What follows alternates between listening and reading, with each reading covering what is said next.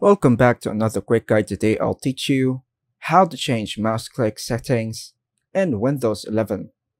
And it's literally an easy process. Make sure to watch until the end of the video to know how it's done.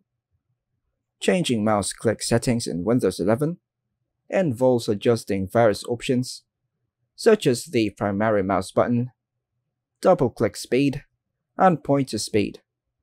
Here's how you can customize these settings.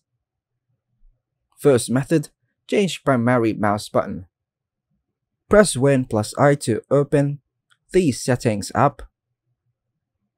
Click on Bluetooth and Devices on the left sidebar. Click on Mouse under the Bluetooth and Devices section. In the mouse settings, you will see the option Select your primary button. Use the drop-down menu to choose between left or right as your primary button. Next method, adjust double-click speed. In the mouse settings, click on additional mouse settings. Under the related settings section, this will open the mouse properties window. Go to the buttons tab.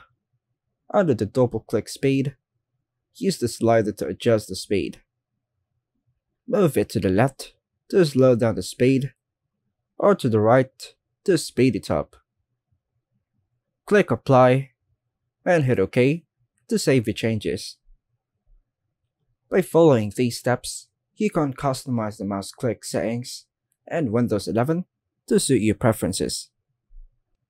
And that's all for now folks, thanks for watching.